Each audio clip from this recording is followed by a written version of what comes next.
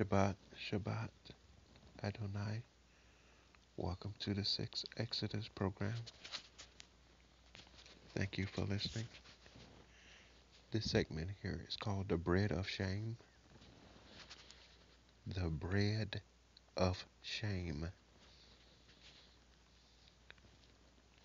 A while back ago, I told you that I will not eat with white man utensils, that I will eat with two sticks for the rest of my life. And when I get to my home country, I will have my people make for me utensils of spoon and pottery.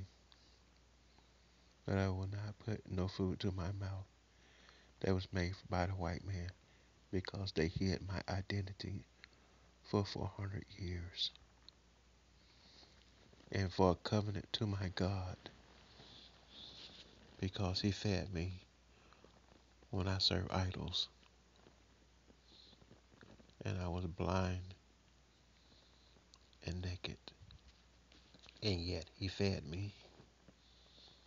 So I honor my God and I call it the bread of shame. Because every time I eat my meals today, I think of when I served idols, the white pictures of Jesus, and called upon its name. I feel ashamed every day. Every day I remember how God has watched over me and kept his covenant to my forefathers, and yet fed me every day. Now that my eyes are open, every meal I eat, I still feel ashamed because I worship idol. Regardless of what happened or what I was taught, I'm guilty, was guilty of serving idols and called upon their names and gave them credit. I prayed and said to the idols, Thank you, Jesus. And it is an idol because the picture of Jesus is just an idol. It is not the God who made heaven and earth. So the bread of shame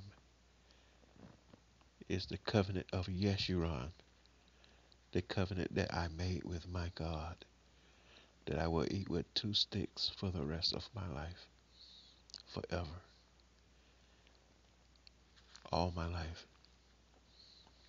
And when I get to my home country, my people will make for me wooden instruments and pottery instruments, spoons, knives, and forks, so that I might keep my covenant with my God forever. This is the bread of shame.